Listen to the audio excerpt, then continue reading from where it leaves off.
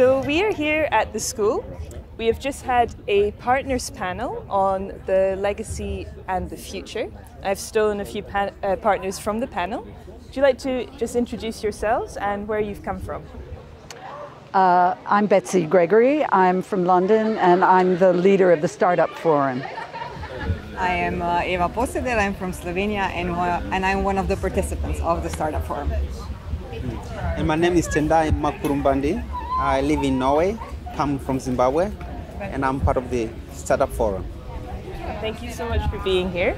Um, maybe Betsy, you could just start us off by telling us a little bit about the idea behind the Startup Forum. The Startup Forum is a new initiative of Aerowaves. This is the first time it's happened. And it grew out of an idea that John had. The, the partners have been talking for a long time about broadening the scope of the network and bringing younger voices into the network as uh, potential partners, as potential presenters, as potential selectors of work, and also to be ambassadors to their own networks of artist friends to apply to Aerowaves.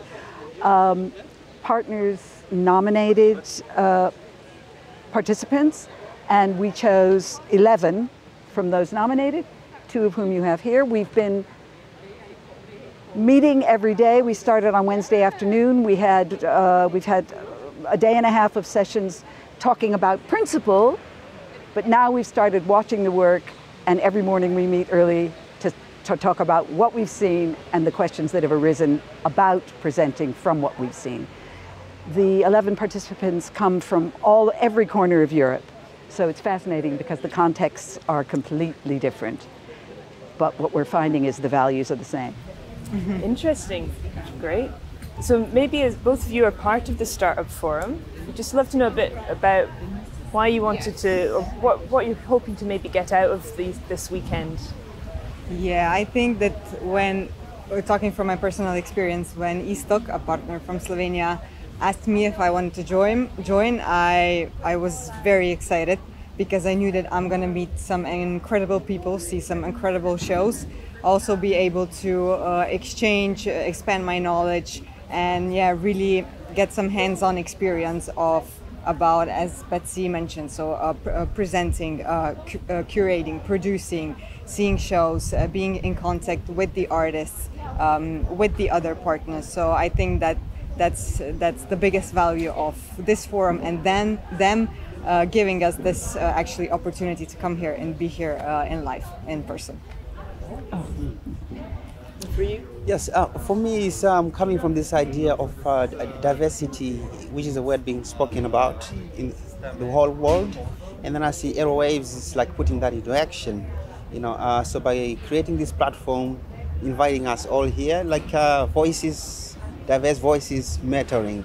So this is like a, a recognition at the same time, a learning curve.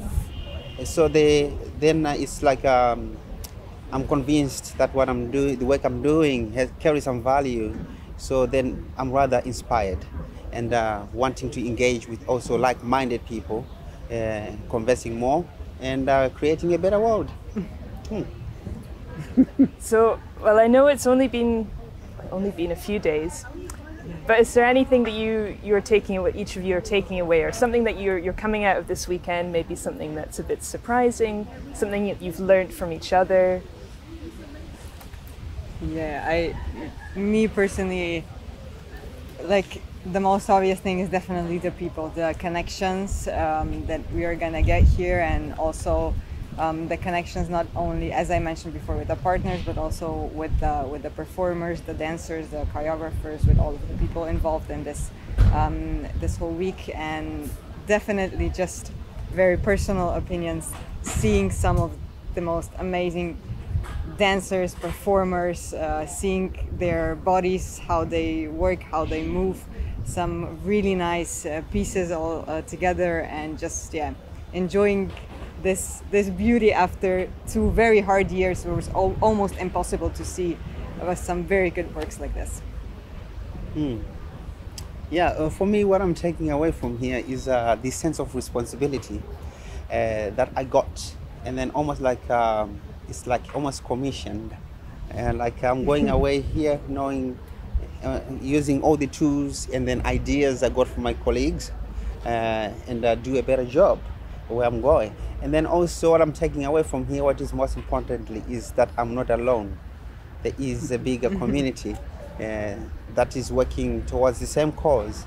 So being in Norway, in Kristiansund, which is a small city, it's very easy to be like to go in that box. So in a way, I've been pulled out. Yeah, so I'm, I'm really happy for that. Oh, lovely. Yeah. That's amazing. And Betsy, finally from you. What I'm taking away, I think, is that um, it's going to sound like a cliche, but I think the future of dance is safe.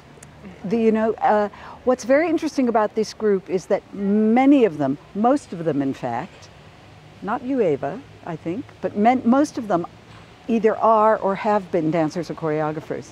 So they know what artists need and what artists yeah, what artists need. And for them to be gradually making the transition into being presenters is a, it's kind of a difficult thing because there's, uh, there are aspects of power, there's all kinds of, kinds of questions. But listening to, the, to, to these two and their, their nine other colleagues, um, really, we're safe. Dance is safe. Dance is safe. And, what, what we and, wanted and to we're looking forward to it. So. Yeah. Really, thank you all so much for taking time out of your very busy weekend. Thank you, Thank Rashid. you.